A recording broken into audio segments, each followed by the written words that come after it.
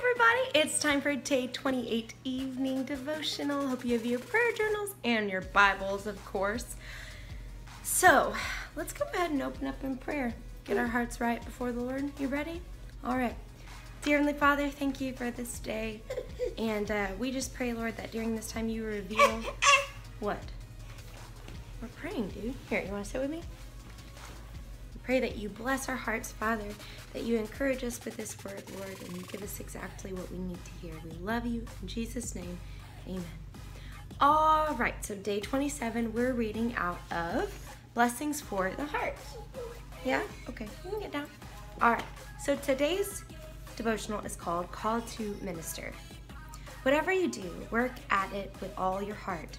At working for the Lord, as working for the Lord, not for men. Colossians 3:23. Ministry is for everyone. It's not just a calling for pastors, missionaries, and evangelists.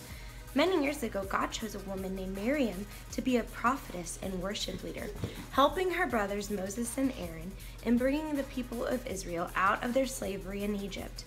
God miraculously allowed the people to walk through the Red Sea on dry ground and then caused the waters to wash away the pursuing Egyptian army. After this safe crossing, Miriam led worship, and all the women followed her with tambourines and dancing.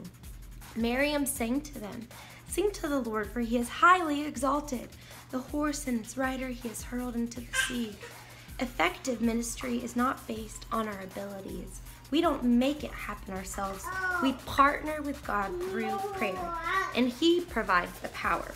One of the best ways we can minister to others is by praying for them. It's not always easy, but it's always worth it. When we pray for our ministry, we can ask God to give us the willingness and compassion to serve others. If we are not sure where to spend our time, we can ask God to help us identify